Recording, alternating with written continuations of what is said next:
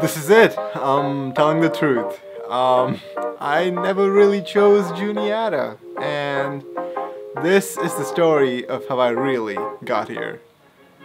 I'm gonna get into so much trouble for posting this.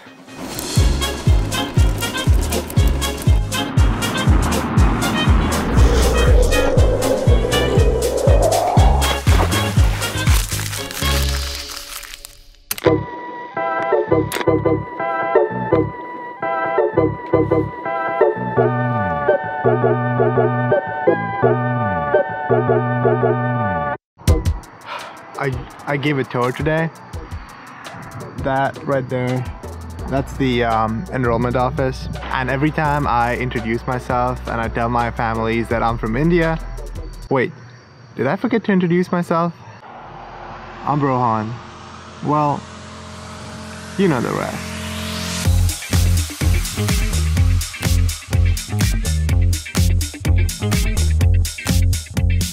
But let me tell you anyway. My name is Rohan Bandekar and I'm a junior studying integrated media marketing. And after the summer, I had an opportunity to have my own show at Juniata and get to work with some of the most interesting people I have ever met.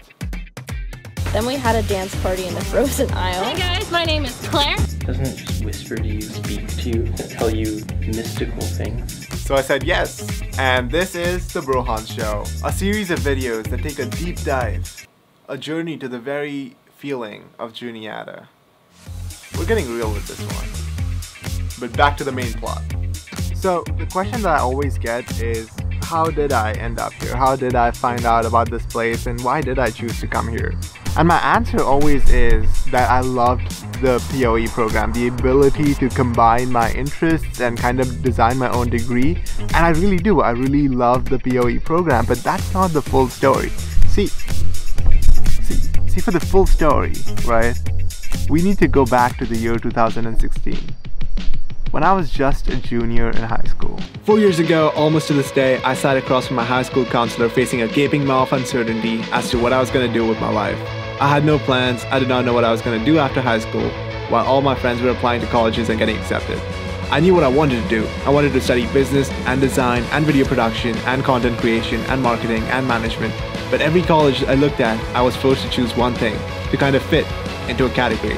I despised any box anyone tried to put me in, so I never applied. So I just waited.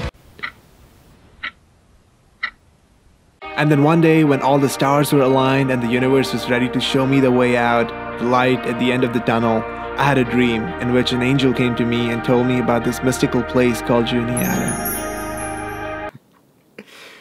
oh, well, that did not happen.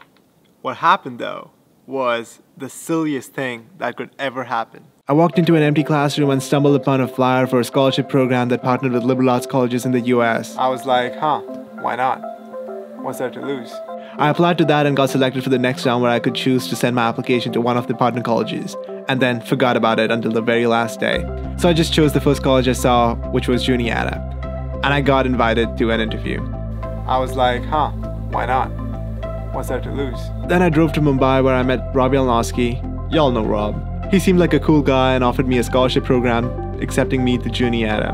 I trusted him. Six months later, I got on a plane in Mumbai and landed in New York City, and then took a train to Huntingdon. Not entirely sure what I was doing with my life, but trusting this place called Juniata and the people that make it. The first day I set foot on campus, I was enrolled. I knew one person. I was in a foreign country halfway around the world, in a culture that was entirely new to me. And trust me, I did not know what s'mores were.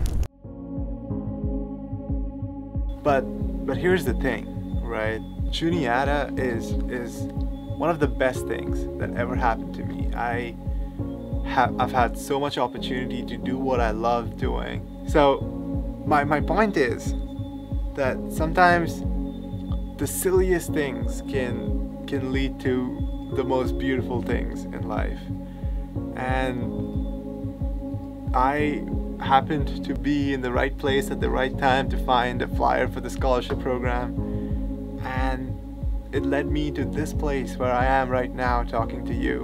You never know when the next big thing is gonna happen. All you gotta do is say, huh, why not? What's there to lose?